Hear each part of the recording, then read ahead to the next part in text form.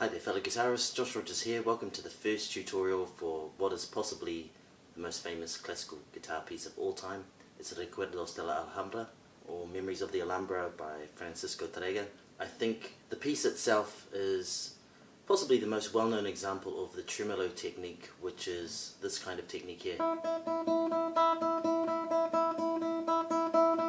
We hear a series of notes repeating themselves over and over again, constantly.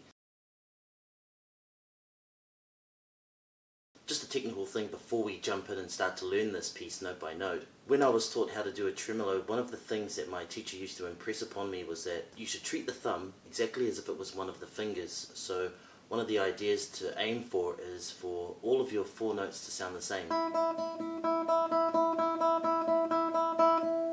I think a lot of people are under the mistaken impression that tremolo is all about speed. Whilst that is true to a certain degree, one of the other important facets of tremolo technique is actually having the articulation even so that one note isn't any louder than the others. Sometimes we're a little bit heavy with the thumb like and that's okay when you're in the actual context of the song but from a technical point of view and when you're studying tremolo and trying to get it nice and even you should be trying to think of the thumb as just another one of the fingers and you're shooting for that nice even volume from all of them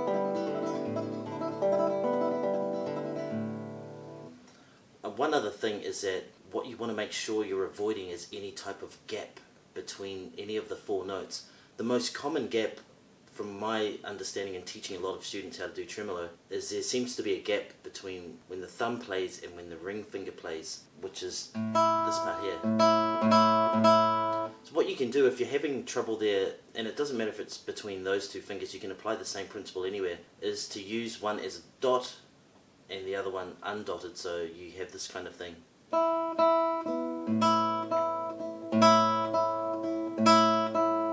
So there, I'm playing the thumb and annular much quicker than I am playing middle and index. So the gap between these two, P and A, is much quicker. And that can help you to remove any gaps between two fingers. As I said before, it's usually there's a gap between thumb and annular. The last thing I'm going to mention is that you don't strictly have to use P-A-M-I in that order. Some people use P-I-M-A and I've actually heard, but I've never seen, but I have heard that some people use I-M-I or M-I-M. I've tried that, I couldn't get it, uh, you know, I think maybe my technique's not quite up to, to scratch, but I have heard of some people doing that, so I'm teaching you the way that I do it, which is, I think, the most common way, P-A-M-I. I strongly suggest that you download the tabs for this. The, the tabs are available all over the internet for Recuerdos de la Alhambra. Uh, I'll also be providing tabs that show you exactly how I play it with my fingerings and that. The way I do it is slightly different to some people's approaches. Uh, so if you want to follow along with me exactly, click on the link below and you can download the tabs from my website. If you want the tabs and sheet music, you can pay a small fee for that and you can download that or you can leave a comment below in the descriptions with your email address and I'll email out the tabs to you.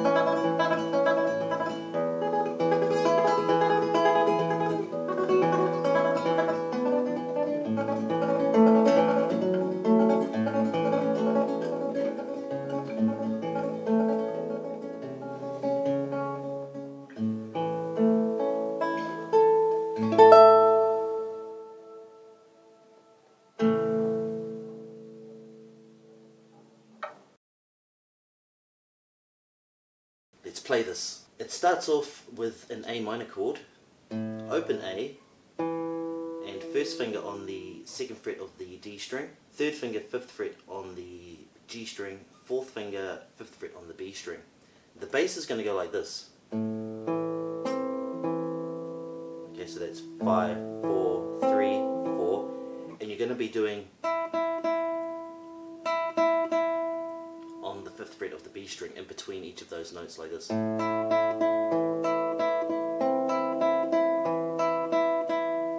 we're going to change chord. Because there, my fourth finger is moved to the fourth fret on the G string. This stays there.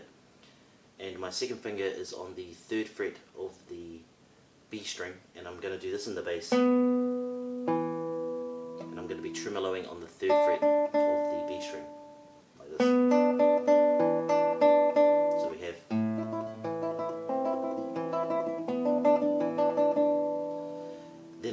A minor like this. You know, you can do it like that if you want to, but I do it like this so that I can just slide my finger here.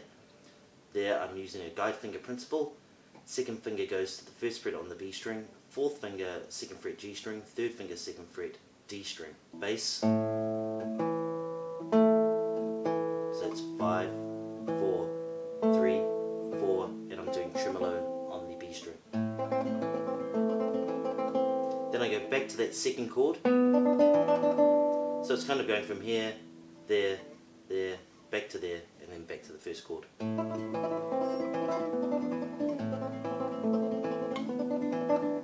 you're going to do the first chord two times around like this.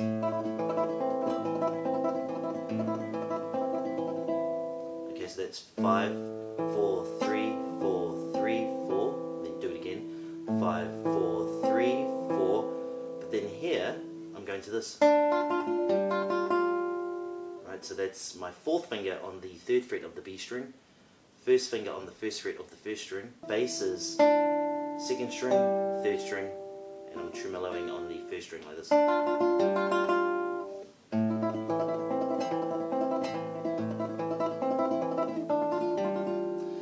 I'm going to do a bar at the third fret. I bar five strings here, and my fourth finger guides along to the fifth fret on the B string. And I've got my third finger on the fifth fret of the D string, and the bass is doing this. So it's five, four, two, four, and you're tremoloing on the first string like this. Then you go back to that chord, same way. Then we're going to a C major chord. So there we have third finger on the third fret of the A string, first finger, first fret, B string, and we're doing this in the bass. Okay, so that's five, three, two, three, tremolo on the first string. Then back to that chord, and then back to this chord. And then do that again. Okay, so I'll take it from the beginning.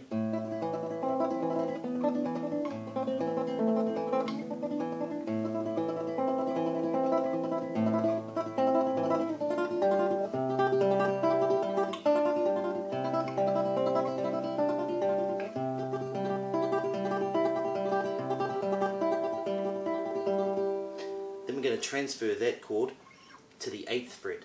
And we're going to do the same picking pattern. Then we're moving to this. So I'll do that again. Leave this finger here. there what I've done is I've moved my second finger to the 8th fret on the B string and I'm sort of doing a bar lightly or a hinge bar kind of on the 7th fret of the first string. So we've got this.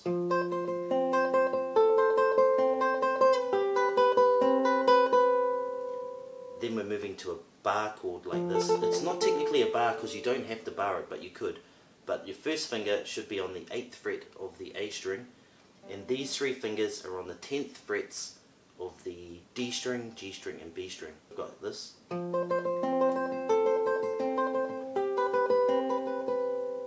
Switch. That's the bass line, and we're tremoloing on the B string.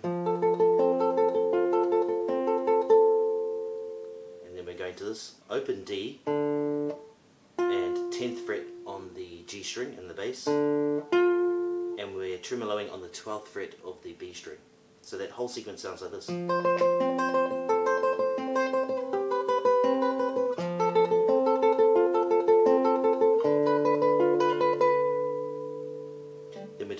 Half bar or a bar across four strings. At the ninth fret we've got this. And our second finger is on the 10th fret of the B string.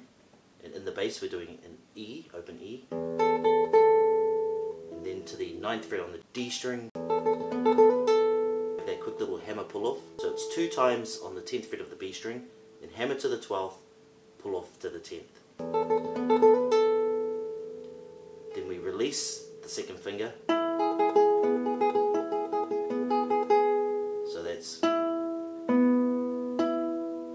9999 from G to D, G to D. And the tremolo is occurring on the ninth fret of the B string. Then we have this. So there in the bass we have open E, 12th fret on the D string, and then 9th fret on the G string like this.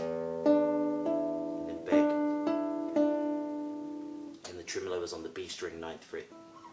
So if we take it from here,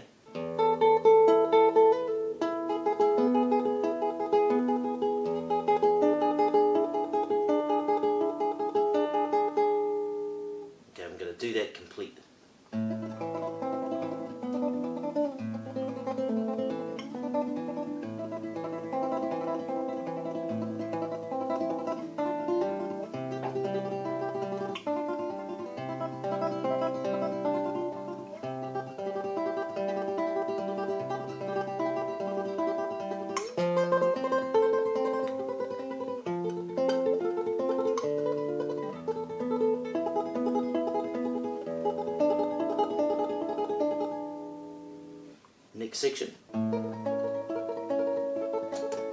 We have open A, 11th fret on the D string, 9th fret on the G string like this.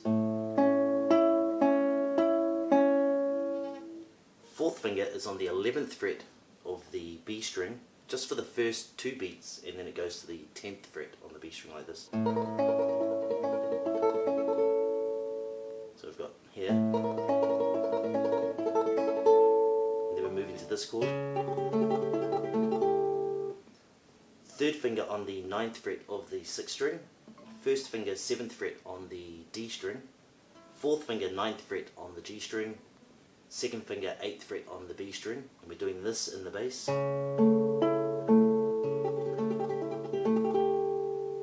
tremolo is on the B string. Then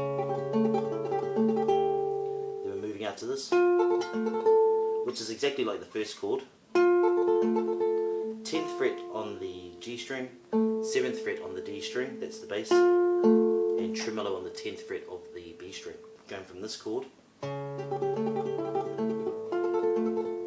So I leave this finger on. Then we've got this. There we have a D in the bass and tremolo on the 8th fret of the B string. Bass on the 9th fret of the G string and we're going to do a similar trill to what we did up here like this. So there we have. So it's twice on the 8th fret of the B string and then the hammer pull off to the 10th fret back to the 8th. Okay, I'll take it from here.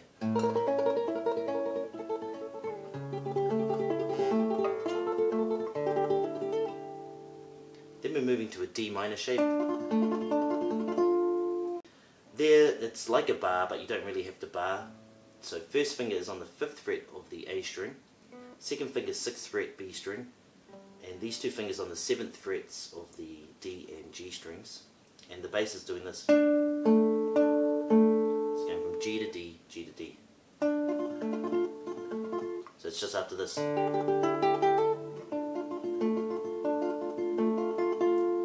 This in the bass. And still tremolo on the 6th fret of the B string.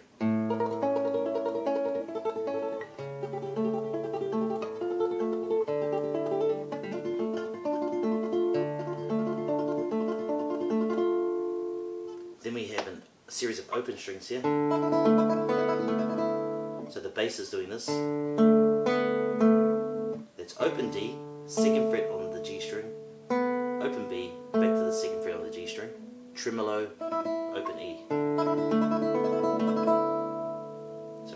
minor chord.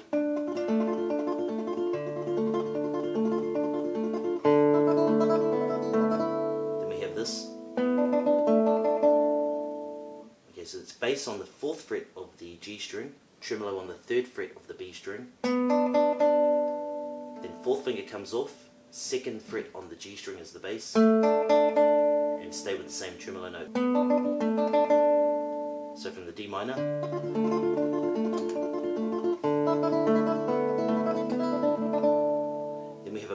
First fret, keep this finger on.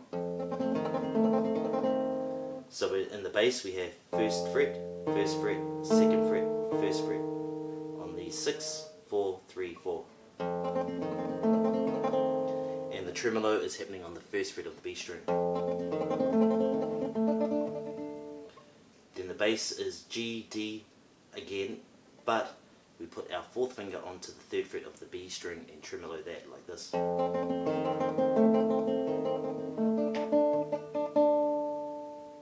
Then we move to this chord. So it's the same principle there, we've got that quick little hammer on pull off. The bass is open E and then E on the D string, and we're tremoloing the first fret on the B string like this.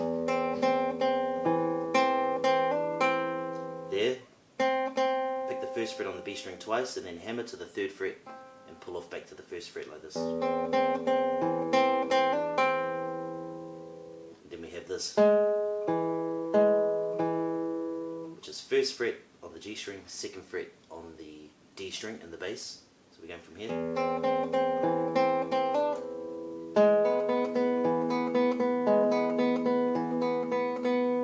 And tremoloing open B. So if I take it from the D minor,